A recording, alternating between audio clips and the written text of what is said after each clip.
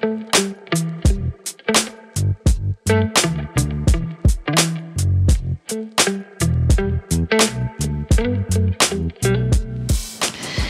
working with a travel capsule for the majority of this year, and even though it's comprised of mostly neutrals and basics, I have found a couple of ways to keep it feeling fresh and interesting. Not gonna lie, I have also added a few pieces throughout my travels along the way, but the whole point is that contrary to what the internet or like a quick Pinterest search might tell you, a travel capsule does not have to be full of neutrals and basics and just totally unfun and boring. In fact, I personally think when we're traveling, it's even more important to make sure that the clothes we have with us are comfortable and are true expression of ourselves and our personality. Colors that make us happy and textures that make us feel, you know, maybe a bit more cozy and accessories that feel personal and symbolize our personality or make us feel closer to home. These are all a big part of today's video and that's why I am so excited to partner with Monica Vinader today. Monica Vinader is a jewelry company with a slow fashion focus. So I'll be sharing some of the pieces of theirs that I've had for a little while now, so you might recognize them. And I'll also be sharing some pieces from their newest collection, which is a collaboration with stylist Kate Young. I've been a fan of Kate Young for a very long time, and this collection is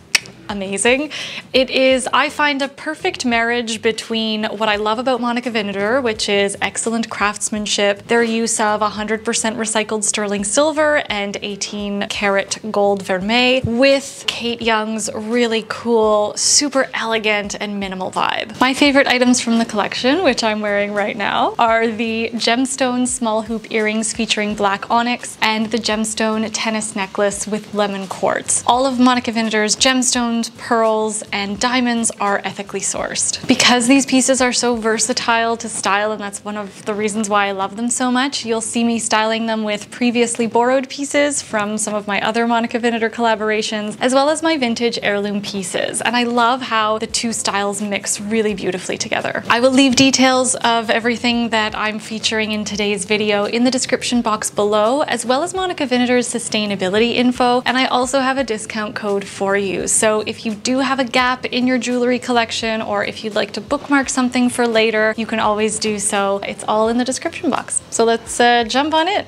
My first tip isn't necessarily like a styling tip, but I think it is a game changer when it comes to building your travel capsule and of course just coming up with cool looks in general. And that is to plan early and start your packing process as early as possible, maybe one to two weeks in advance. This gives you the opportunity to actually get creative with the pieces in your capsule. And you might not want to spend time playing dress up and figuring out all the different combinations once you're actually at your destination. If, as you're putting your outfits together, you have time, snap a quick photo of yourself in the mirror. That way you've got a little lookbook to pull ideas from when you are traveling and you're on the go. If it's available to you, once you've chosen your travel capsule, keep them on a rack or somewhere separate from your regular closet. And I like to keep mine somewhere visible. So that way, you know, in the weeks that are leading up to your trip, you can kind of ruminate, you can see all of the common themes, whether it's like a common color palette or common textures. And as you do that, you can come up with even more ways to wear that travel capsule. Doing this also gives you the opportunity to just tweak it ever so slightly. If your mood is changing as you're leading up to it, or if the weather or some of your activities or destinations change. Doing all of this sets you up with two really important things when it comes to being confident in what you're wearing and just getting creative with what you have. Number one, confidence. Because you've tried everything on, because you've sat with it for a couple of weeks and you've made whatever tweaks you have to, you'll be much more confident once you arrive at your destination that what you're wearing is something you feel good in and that feels a little bit more styled and thoughtful. The second is creativity. You're already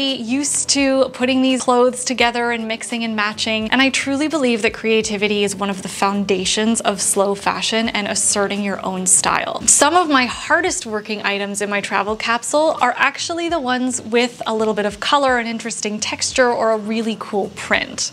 If your travel capsule is neutral, depending on how long you're going for, I would make sure to have at least one item that has a fun print with colors that you like to wear. This can be a scarf, a top, whatever. If you want to bring two prints or several prints, just make sure that there's that grounding color between all of them and that they are at a different scale so that they can be worn together. Next, I would make sure there's one item in a standout color that is also present in one of your prints. So again, this could be a scarf, a top, a pair of pants, or a dress, but that cohesiveness will really help mix and match and keep your whole capsule feeling interesting, but still like there's a nice kind of theme and through line for it. This can also be from jewelry. And because jewelry is such a great space saver, you can bring a couple of different colors within your jewelry and like mix them and layer them up like I've done with these two Monica Vinader necklaces. I think it feels so fresh. It works with all of my neutrals and really punches it up a little bit. And what I love especially about this is layering colorful jewelry is a very low effort, very easy, but highly impactful styling trick. Finally, I would make sure to bring one to two items in an interesting or different texture, whether it's something shiny and patent. I'm very boring, so to me, denim is an interesting texture that provides some nice contrast with, you know, leather accessories or silk tops and things like that. So again, this is going to be totally up to you, but an interesting texture either in your neutrals, like if you want to go easy, I would stick to interesting textures in a neutral color so that you don't have to worry too, too much about mixing and matching. But if you've got an interesting texture like a patent in a color that is present in some of your prints, you can really create some standout looks. And similar to my last point, jewelry can provide texture too. I love wearing my Monica Vinader Keshi pearl pendants, especially when I'm wearing more structured things like my button-up shirts or a blazer. I think they add a really nice sort of soft and organic feel and help me bring in that more romantic vibe when I want to add it to my very classic and minimal pieces. Now, if your capsule is on that vibrant, colorful, busy, and maximal end of things, I would do almost the opposite. I would make sure you've got at least one neutral print. I find animal prints and things like polka dots and stripes work really well for this. They often are easy to find in neutral colors, and in my opinion, an animal print is a neutral. So definitely include one of those because it can ground some of your other vibrant colors. I would bring two pairs of neutral shoes, one in a lighter, maybe a skin tone color so that it literally goes with everything, and another to cover the darker end of your travel capsule spectrum. So whether it's black or navy or brown, that way with those two shoes, you can wear them with every kind of color, whether it's dark or light in your capsule. If you can, I would also make sure that they have two different functionalities. I would also pack one or two, again, depending on how long you're going for, neutral separates. I say separates because these are easy to just kind of add on if you need that one grounding piece in your outfit. If you're at a loss with other ways to sort of zhuzh up your travel capsule and you've already done the colors and the prints and everything, something else that I like to do to inject a little bit of that freshness is get inspiration from my final destination. I've done a video all about sort of, you know, dressing for different types of destinations. I actually have two of those. I will leave them up here for you. But I love to do this not only because it helps see my closet differently, but it also helps me fit in perhaps a little bit more once I get to my destination while still feeling like myself. My final tip is to vary your outfit formula using two elements of style. I've talked about outfit formulas before and why I love them so much. I'll leave a video up here for you if you're not familiar with that concept. But I think outfit formulas are a game changer when it comes to travel. The two elements of style that I like to focus on the most because they have the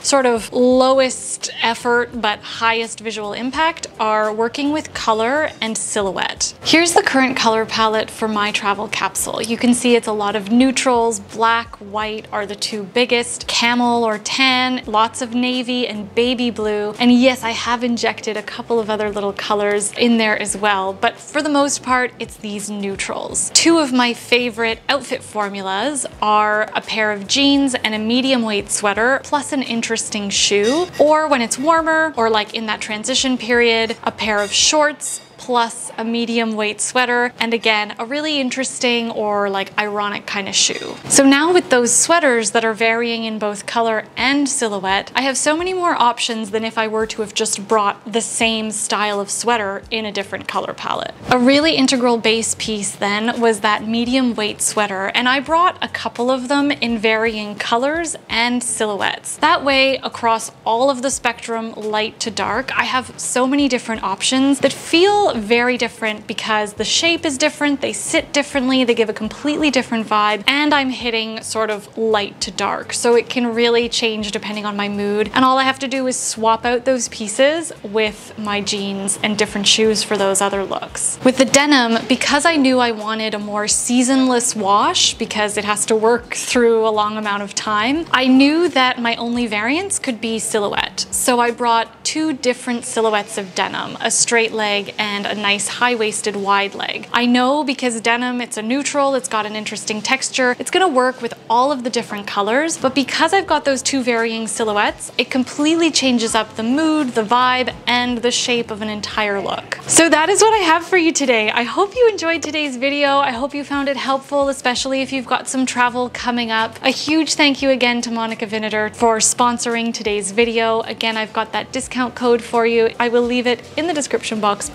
as well as links and more information on what I wore today and on Monica Vinader's sustainability program. If you liked this video or if you learned something new, give it a thumbs up, hit subscribe if you haven't already. Thank you for watching, and don't forget I've got those tickets on sale for my Shop Your Closet workshop coming up on September 24th at 1 p.m. EST. Okay, that's it for me. Ciao!